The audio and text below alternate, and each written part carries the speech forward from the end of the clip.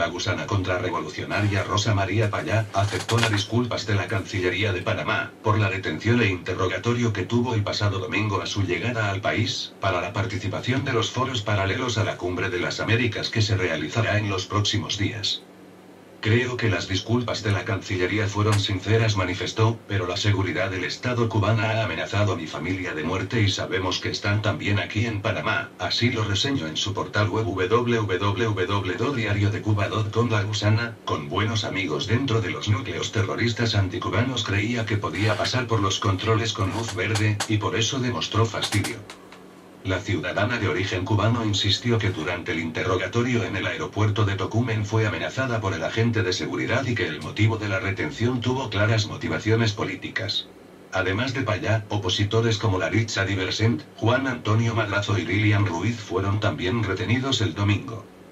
Paya relató lo sucedido al canal internacional de noticias NTN24 y precisó que antes de poner los pies en el aeropuerto fue interceptada y luego estuvo retenida en la puerta de embarque para ser conducida después a una habitación donde fue interrogada. La activista señaló que le tomaron celulares, una agenda personal y que perdió de vista estos objetos mientras estaban interrogándola. Luego del interrogatorio empezaron a amenazarme con la deportación si iba con pancartas, a provocar disturbios o el cierre de calles. Me dijeron que me iba a afectar cualquier cosa que hiciera y que empañara la cumbre.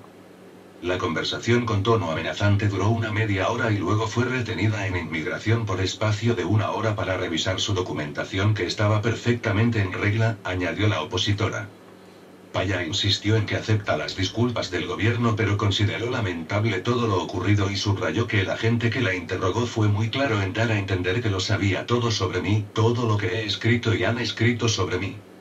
La citada contrarrevolucionaria, que promueve el proyecto Cuba Decide, agregó que espera que estos hechos no vuelvan a ocurrir porque siguen llegando amigos y activistas. Solo falta que también intente ingresar el conocido terrorista internacional Luis Posada Carriles y estamos aquí con el objetivo de decirle a los presidentes que escuchen al pueblo cubano y no al general cubano, que no ha sido escogido democráticamente.